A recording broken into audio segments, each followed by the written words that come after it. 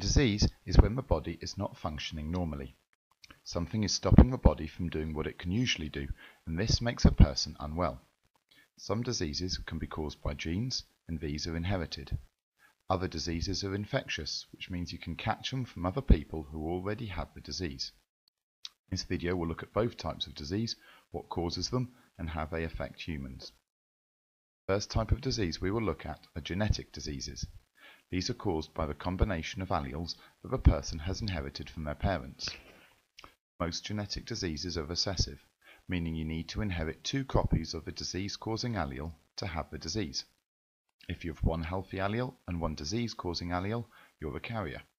This means you're healthy, but you are able to pass on the allele that could cause the disease to your offspring.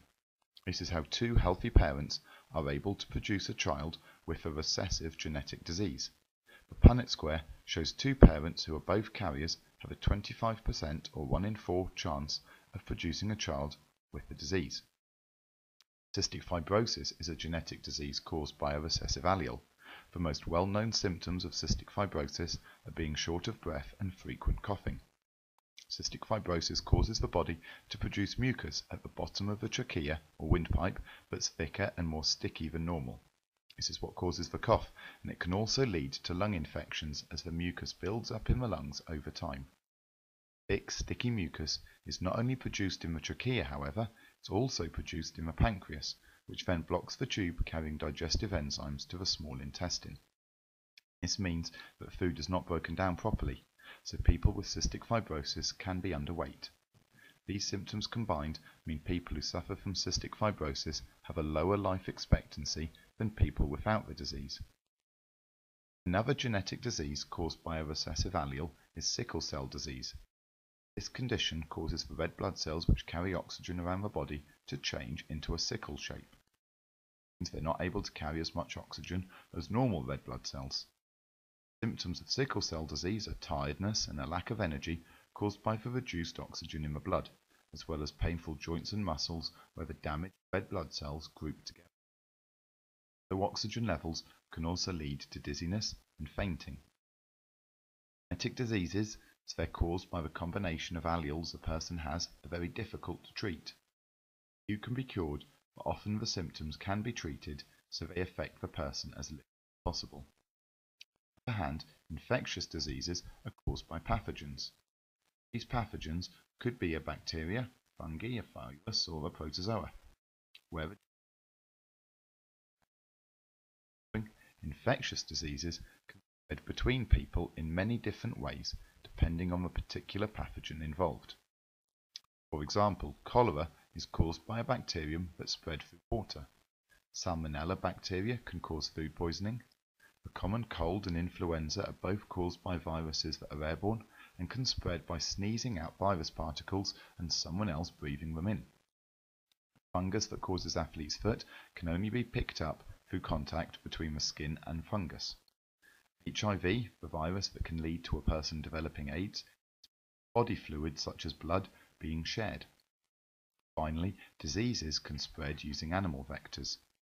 Dysentery is caused by a bacterium that's spread by houseflies, while malaria is caused by a Anopheles mosquito. These vectors do not suffer from the disease themselves, but they are able to carry the pathogen from someone who has the disease to a healthy person, and so the disease spreads. Some infectious disease can be treated using certain drugs. Antibiotics are used to control infections. Antibacterials treat bacterial infections while antifungals treat fungal infections.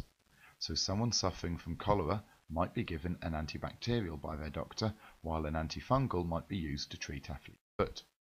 Because viruses are not living, they're not affected by antibiotics. So someone suffering from flu or HIV would not be given an antibiotic as it would have no effect on the pathogen causing that disease. Better than treating an infectious disease is trying to avoid getting it in the first place. Antiseptics are chemicals used to prevent the spread of infection by using them to clean surfaces. Body also has a series of defenses to prevent pathogens from getting inside. These include physical barriers such as skin, cilia, and mucus. Chemical defenses kill pathogens on contact. such as hydrochloric acid in the stomach and lysozymes in tears. For a pathogen to cause a disease, it would need to get past all of these defenses. Though diseases can be genetic or they can be infectious. Genetic diseases, such as cystic fibrosis and sickle cell disease, are usually caused by a recessive allele for a gene. They cannot be cured and can only be passed on through reproduction. Cystic fibrosis causes thick, sticky mucus to build up in the lungs and pancreas, leading to coughing, lung infections and being underweight. It also shortens life expectancy. Sickle cell disease stops the red blood cells carrying as much oxygen as they should, which leads to tiredness, faintness, and painful joints. Infectious diseases are caused by pathogens and can be spread through water, food, air, contact, body fluids, or animal vectors. Each disease is caused by a particular pathogen but spread in a certain way. To stop the spread of disease, we can use antiseptics to kill pathogens on or use antibiotics to control an infection that's already happening. The body has a series of physical and chemical barriers to help defend itself against attack pathogens.